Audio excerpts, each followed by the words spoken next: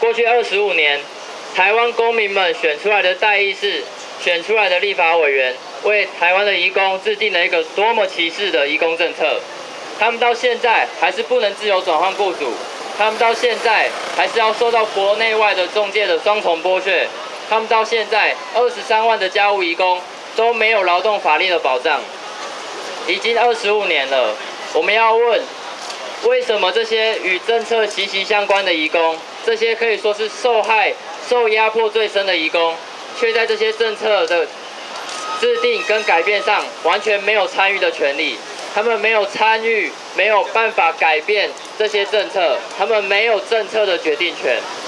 所以，我们今天来到立法院前面，我们将要来预告台湾移工联盟要在九月十七号推动一个史无前例的模拟移工公投。好，这是。由台湾移工联盟举办的模拟公投，移工公投哦，有有总共有三个题目。第一个是你同不同意家务移工应该要有劳动法律的保障？因为我们知道家务移工在这二十五年来从来没有过有劳动法令保障的时候，他们到现在还是三百六十五天二十四小时必须待在雇主家劳动。所以我们要来问，这这些移工是不是同意这样子的一个政策？那第二项呢，是你同不同意废除中介制度，强制政府对政府的直接聘雇？当我们在说废除中介制度的时候，有很多中介都会说，哎，这些我们这些中介啊，其实都是来帮移工的。如果移工啊，如果没有中介的话，他们没办法生活，没办法工作，没办法跟雇主沟通。那我们今天也要来问问移工们的意见。中介到底是剥削他们的人，还是真的是帮助他们的人？那再来第三项，移工应该可以自由转换雇主，这一项也是因为就业服务法五十三条的规定，导致自由转换雇主这么基本的劳工权利，长期以来移工都没有。所以我们今天也要来问，移工是不是你同不同意移工可以自由转换雇主？这三项移工政策可以说是这二十五年来压着移工最最重、最深的三个移工政策，所以我们要借由这三个移工政策来让移工自己能够表达意见。那当然不只是移工，不管你是不是台湾公民，我们都欢迎你一起来参与这场 移工公投。Like our mother, my mother, our sisters and our aunties, they are here to work as a caregiver and a factor worker. But in but in reality. They are not protected by our law, Taiwan law. 啊，我的阿姨，我的表妹都是在台湾工作，他们还是没有在啊劳基法保障。And the reality, me as a factory worker, my my salary, my minimum salary is twenty-one thousand dollars, but the caregivers and the, and those domestic helpers have only a seventeen thousand dollars. 我是在呃工厂工作，我的薪水是两万一啊零零九，在啊如果在那个啊看护工的话，他们的基本工资是一万七而已啊。Number two, we we are already agree that we the bro the the brokers must be abolished, and we want to we want that government to government hiring here in Taiwan。我们要求那个中介要取消，然后我们要啊，我们这全部有货车，就是全部的全部啊，之前评估。And this force that we have to pay for almost one year of our contract just to pay those uh, those payments. 我们来台湾是一年都是为了付这个中介费。And number two, in my experience, we have a problem in our company. Now, we are not we are not working for more than three weeks, but in the side we are paying our monthly payments to our broker's fee. But in our case,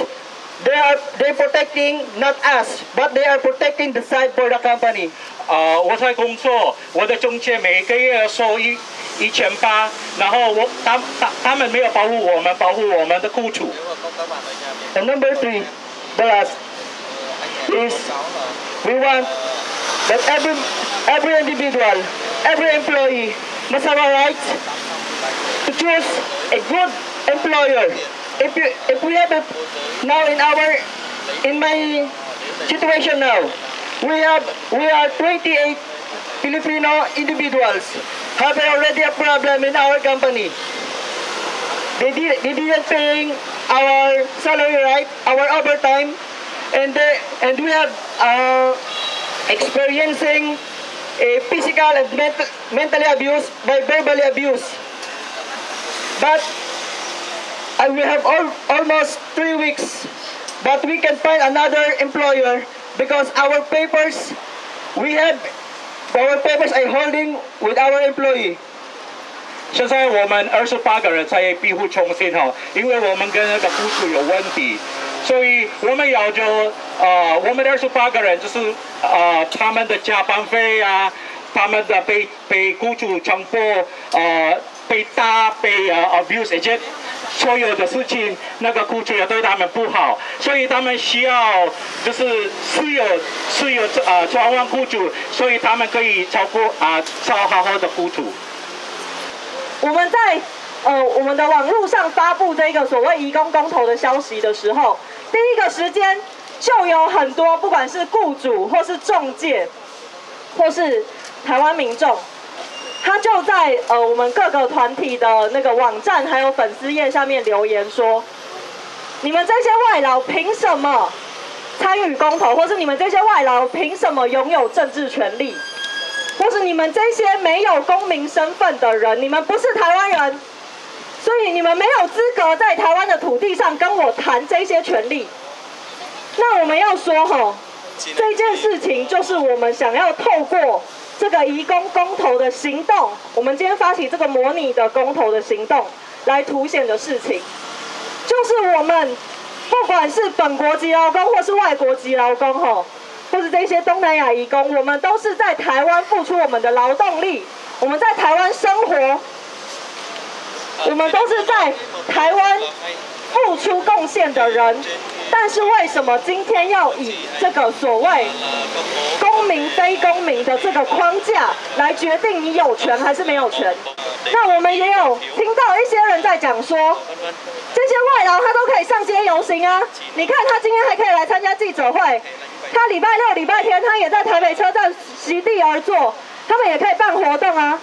他们也可以骂政府啊，他们也有自由表达自己意见的权利，没有错。自由表达自己意见的权利，言论自由也是政治权的一环。但是我们要说，这个言论自由，它是否可以充分被展现，还是它只是一个被限缩的言论自由而已？你今天走在街头上，你出来抗议，你是一个外，你是一个东南亚籍的蓝领外劳，警察就可以随随便便看你的居留证，看你的证件，看你是不是逃跑劳工。是的话，他就可以直接把你抓进去收容所，抓进去移民署。但是如果你今天是一个台湾人，你是一个白人，请问警察走在路上，或是在这种记者会的场合，他会随随便便看你的居留证、看你的身份证，问你是不是逃跑的吗？这个诉求并不是一个夸张的、荒唐的要求，在全世界越来越多的国家，举以欧洲为例，不论是丹麦、瑞典、挪威。芬兰各个国家早就在二十年前就已经把著名没有国民权，但是他是著名在这个地方长久居留三年这么久的时间了，都可以纳入他们地方选举的投票，甚至被选举权。选举被选举权在地方层级保障著名已经是全世界的趋势。纽西兰也是如此，甚至跟他报告，跟我们邻近的竞争对手韩国，对于居留满三年以上的永久居民，他尽管还不是韩国人，也一样拥有参加地方选举的权利了。台湾号称是所谓什么亚洲进步的民主国家，我们却连这样一丁点应该要有的包容、支持，我们都不愿意给予吗？